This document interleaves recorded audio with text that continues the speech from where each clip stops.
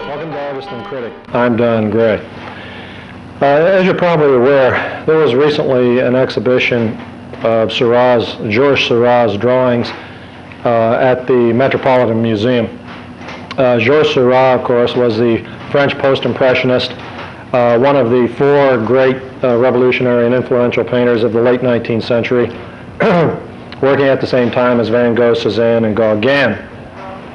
And uh, Seurat, of course, is responsible for the development of a painting style called uh, pointillism, uh, where he used very small dots of paint to build the form, and uh, also known as neo-impressionism, uh, another approach to uh, impressionism, a new approach to impressionism. And the, the new approach was the formalization of the loose, spontaneous impressionist brushwork leading to uh, a certain uh, static quality in his paintings. Uh, we'll take a, look at his uh, first picture here. What We'll be taking a look at is, of course, Le Grand Jatte. We mentioned it briefly last time on our last program, and we talked about the stylized handling of the figures, the fact that the painting really represents kind of a, a transition point between the naturalism of the Impressionists, the realism of the Impressionists, the soft, easy poses, and an increasing stylization.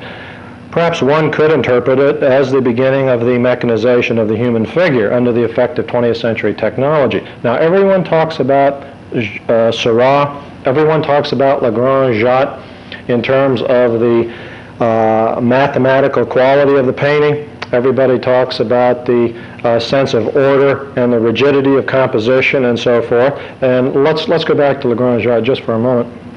Uh, but what really struck me at the exhibition of drawings at the Metropolitan was an unsuspected depth of, of poetry in Seurat an unsuspected depth of, of mood, of, of melancholy in a sense, and perhaps more in the drawings than the painting. But I think when we begin to look at the picture a little more closely, we begin to see that uh, there is a, a, beauty of mood, there is a beauty of poetry.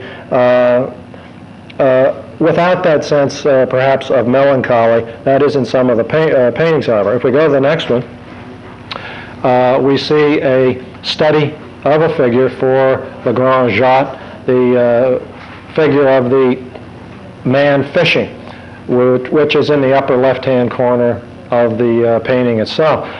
Now, we're all familiar with the, the simple silhouette effect of, of his pictures, uh, but I wonder how many of us really respond in this, for example, it's enhanced in the study of an individual man, a certain sense of loneliness, of this early industrial man beginning to uh, move into himself, to move inward from, into his own inner life, uh, pulling away perhaps from the incipient, the onrushing uh, depersonalization and mechanization of the 20, fast approaching 20th century. And here the single solitary poetic figure uh, casts his little hook into the, into the waters and uh, we have the sense of, of personal involvement and a certain sadness, a certain melancholy of mood. Now, we'll see some of the same thing in a drawing uh, of a woman fishing, and she is a study for the uh, a woman in the far left of the painting of Le Grand Jatte. He did numerous paintings and drawing studies for it. Seurat was extremely meticulous. He was an extremely hard worker. They're working for hours and hours and hours and hours putting these little dots of paint on the canvas. Here he's working with Conte crayon, and people talk about these drawings as the, if he draws with the side of the Conte crayon, I'm sure he did, or black chalk, it gives a speckled effect to the drawing uh, where the paper, the rises of the paper pick up the uh, chalk. And people equate this with the uh, neo-impressionist pointillist style of his paintings. Now, it, it's probably um, whether it's true or simply an accident of technique, I think we have to go beyond that to talk about the poetry, a certain quiet sense of melancholy in some of these figures. You know, he's simplifying, he's stylizing. Uh, we mentioned a certain comparability to that of uh, Piero della Francesca in the uh, Renaissance. Uh, he's getting a certain essential qual- human quality in these pictures. In the next, uh, next painting, uh, we'll see the landscape setting for Jatte unadorned by figures. And uh, obviously, the, I think the poetry of the landscape is, is fairly apparent. You know, without, without the figures, it, it perhaps echoes like uh, an em- vast empty hall when we think of it having been peopled with all those figures as, as uh, stiff and, and sharply delineated as they might be, uh, there is still is this sense of, of echoing emptiness in it. But there's a certain poetic quality, a gentleness in the uh, landscape.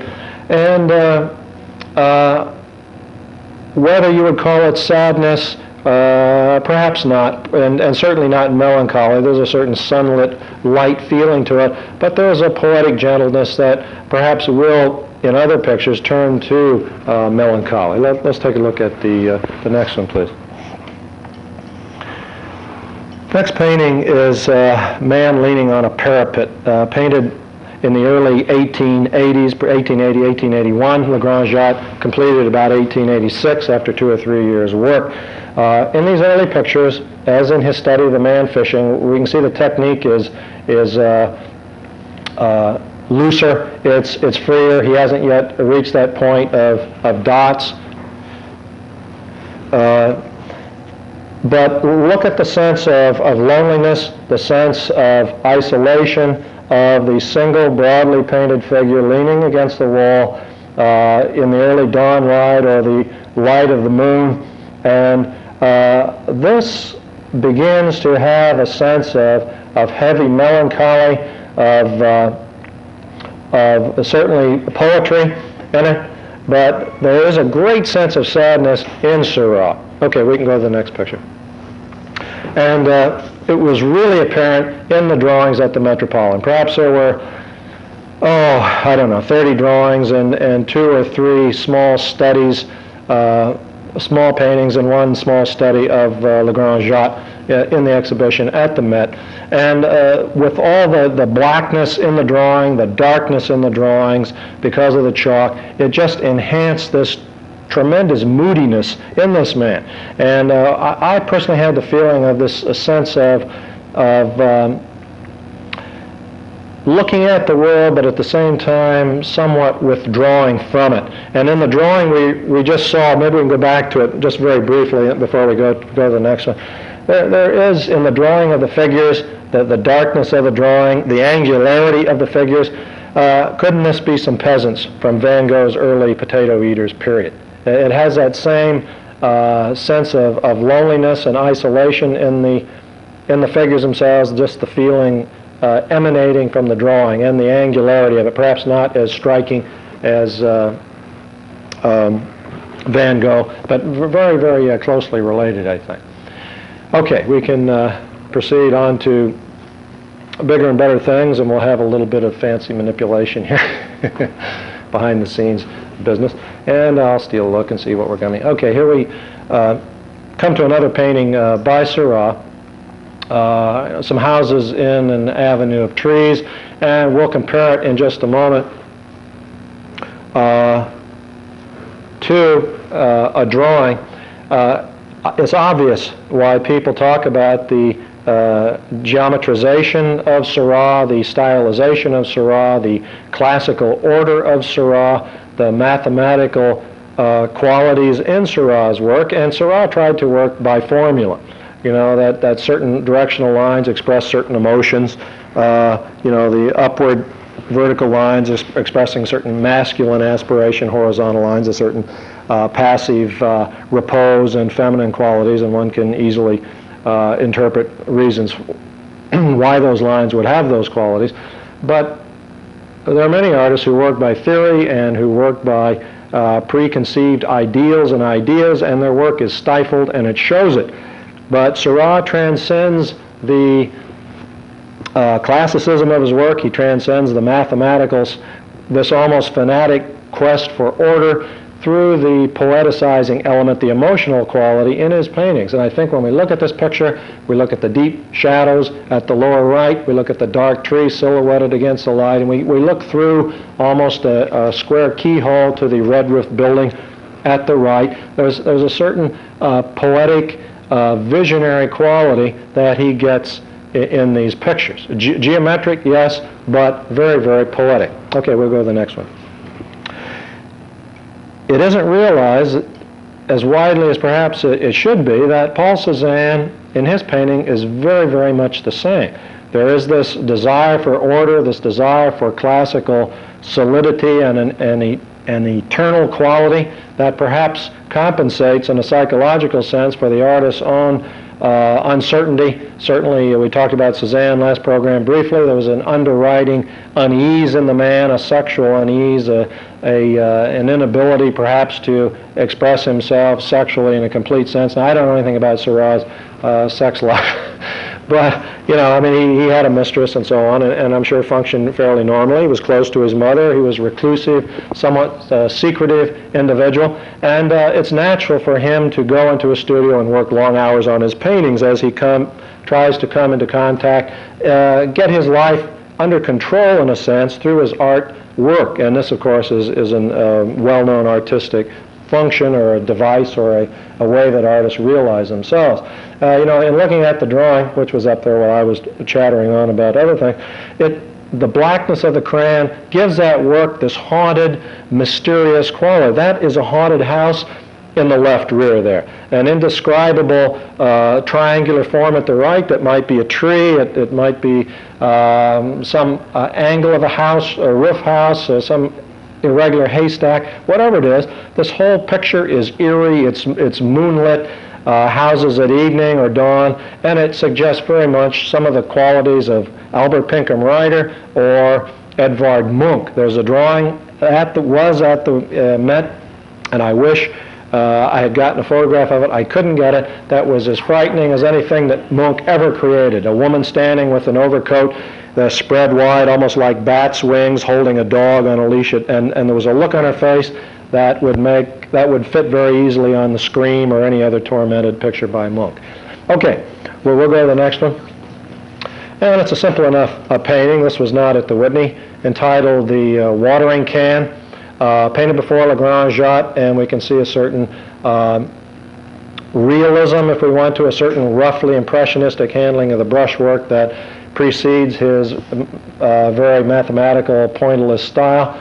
And uh, what poetry there is in that picture something about the picture, whether it's the placement of the water can, the carefully mathematical looping of the handle in that circular sense, kind of repeating the curve of the path as it goes back, uh, a very distinct geometric shape, and then we reach that wall at the top part of the picture, which has vines uh, growing on it, and the horizontal top of it is a brick orange red, and then beyond it, dark foliage. And I, I maintain that there's something extremely uh, mysterious. Mosquito flying around here. We, I guess we'll leave him alone. His life's going to be very short anyway with the onset of winter.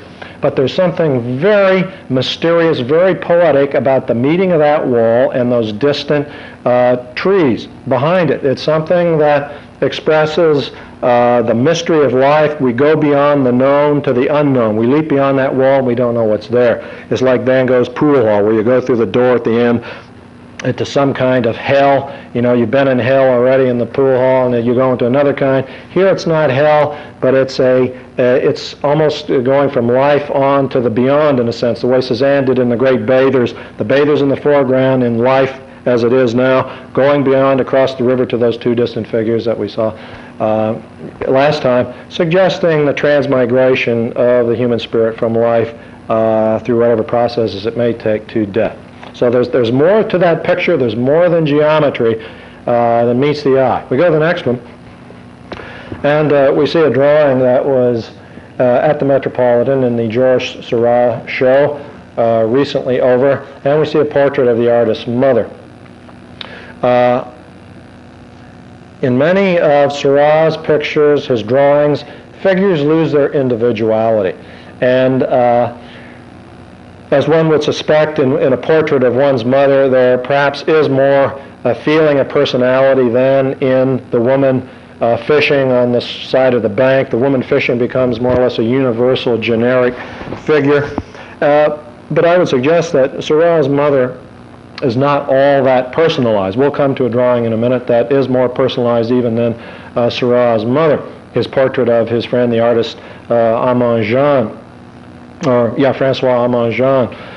Uh, but there's a generality about the figure. It's solid. It has that speckled quality done with the side of the chalk, and it. Uh, I kind of have the feeling that the loss of personality in these works is is Seurat's way of telling us that he's responding to some of the pressure of the gradually on gradually onrushing. It's onrushing.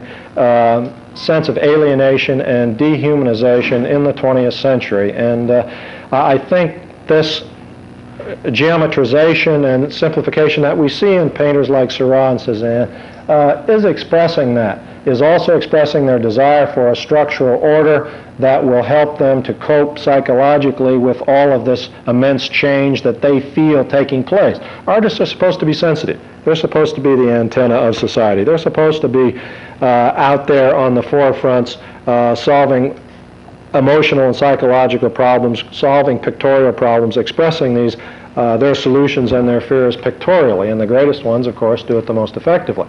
If we go to the next uh, picture, uh, this is a study for uh, his picture of the models, which was painted following Le Grand Jatte uh, about 1888, 1889, but dates again don't really matter. Uh, and we see in more detail, particularly in the small study where the dots become larger, the effect of the pointillist style, which does two things, and I think two contradictory things. It, it tends to order the surface of the picture. It begin, you know, it's another aspect of this geometrization, this sense of trying to order the surface of the picture, to control it, because the world is rapidly becoming uncontrollable. But at the same time, it tends to dissolve the figure. You know, it tends to let the figure slip away into this poetic uh, vapor, this depersonalized nothingness. There's a sense of a person there, but not the sense of a specific person there. And this is some of the contradiction of 19th century and 20th century painting in the post-impressionists. We, we see them uh, hoping to, doing all they can to hold on to reality, to create a, uh, an art of stability that uh, is somewhat contradictory to the sense of change and evolution or devolution that's taking place in society and personal relationships and man's relation uh, to himself in society. And we see them clutching desperately at structure, but at the same time it's slipping away from them uh, in a very paradoxical moment. Uh, in the next picture, we come to that one we were talking about uh, earlier, the more sharply defined, the picture that has a sense of personality uh, Seurat's painter friend, Francois Aman-Jean. And it's more carefully drawn than the others. It's more sharply delineated. He's still using the side of his chalk or his Conte crayon to get, and it gets that flickering effect that, that ties it in stylistically with his uh, paintings, his pointillist style paintings. But there is ever present in the drawings, as in the paintings, uh, which I've come to realize, this, this sense of poetry, this sense of a, a darker underworld, a darker undercurrent. Uh, the blackness has a great deal to do with it. Let's face it, uh, when we think of what black symbolizes, uh, symbolizes the night with all its terrors, of course. That's when we have our nightmares at night. And uh, it symbolizes uh, uh, death, of course, very obviously. We, we dress in black for, for mourning. Uh, it's the absence of light, and light, of course, can mean spiritual or intellectual uh, greatness or holiness or insight. You know, the light dawned, and I, I saw the light. I, I, saw the way to solve my problem. I saw the meaning of life in its, its most profound interpretation.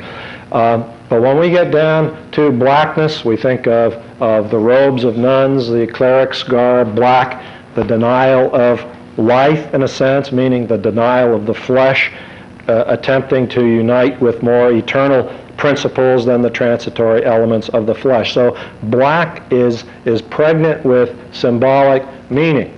Okay, we, we, go, we go back in time, before Le Grand Jatte.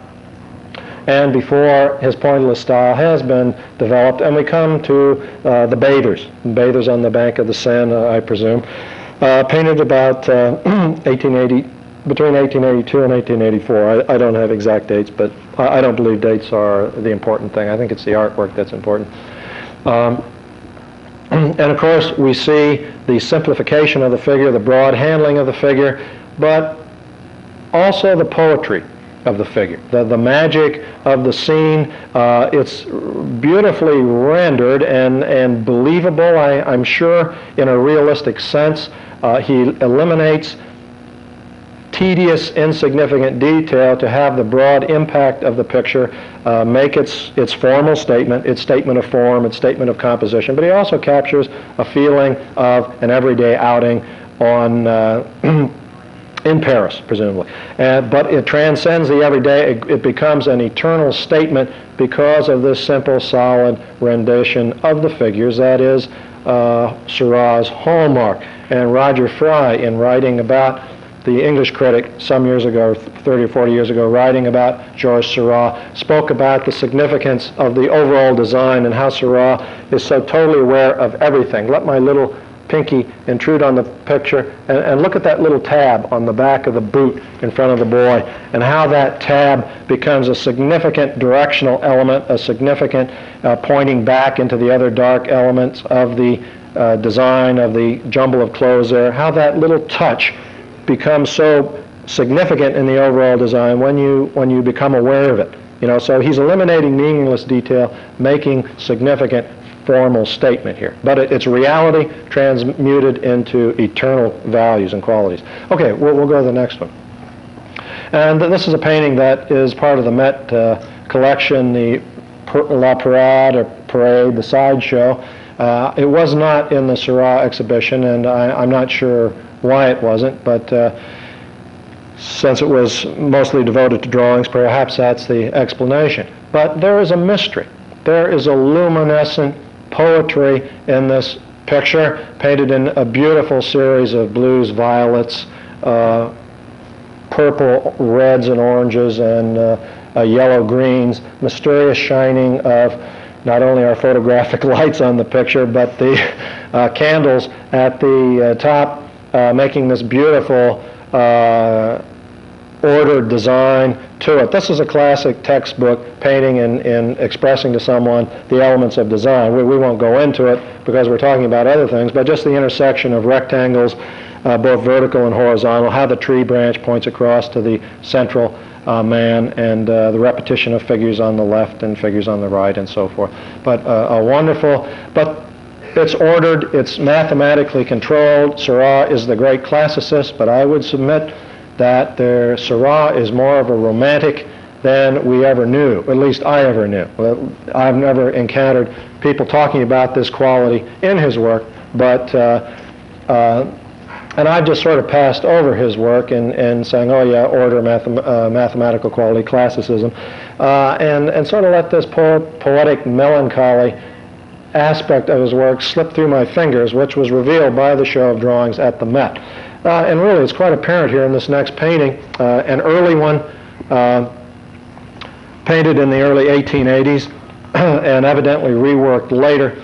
But doesn't that woodland scene, it's not really pointillism, it, it's, it's, a, it's impressionism more than pointillism, and we know it's Seurat, so we sense a certain order there in the tree trunks and a certain ordering in the brushstrokes, but there's the roughened paint surface.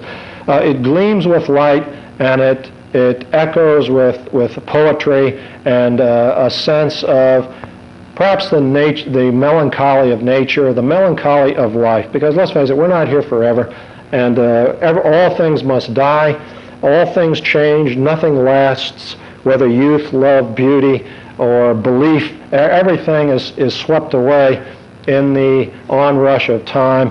And uh, the poetry in that picture, and we'll, we'll go to the next one the poetry in that woodland scene uh, is reminiscent of some things by Albert Pinkham Ryder, perhaps Ralph Blakelock, and some other uh, mystical uh, nature painters. We, we, look at a painting at the end of his life uh, off the Normandy coast. Seurat dies tragically young, about the age of 32 in 1891. A, a tragic uh, ending, you know, and everyone speculates where would he have gone, and of course, no one knows. No, no one, no one can say what would have happened uh, to this man if he had lived another 30 or 40 years. But look at the spare quality of this late painting. Uh, I submit, while I'm not, as you're well aware, I'm not one of the biggest fans of abstraction. Uh, I, I feel that it, it eliminates too much, it narrows uh, our human focus, it makes us forget ourselves as human beings and our, our role in the world, that there's an awful lot of Mondrian in this picture, the sense of a certain spare majesty, which I will grant Mondrian is having. I, I think he is a, a powerful, significant painter, but a limited painter, and uh, perhaps we can close on that picture. I, I think maybe that's, that, that's the appropriate uh, painting to look at as, as we uh, share our final thoughts here. That there's a certain uh, poetry, you know, a certain sense of the uh, majesty of life uh, connected with the some of the the sorrow over its transience, the fact that we don't really know why we're here or what it was all about, but we did our best while we were here. There's a spare, abstract quality to it that, that gives us painting strength and aligns it with uh, uh, some of the great final statements of, uh, of uh, other greater painters, perhaps, than Seurat. Seurat is great, but maybe there are others greater. Take care. We'll see you later.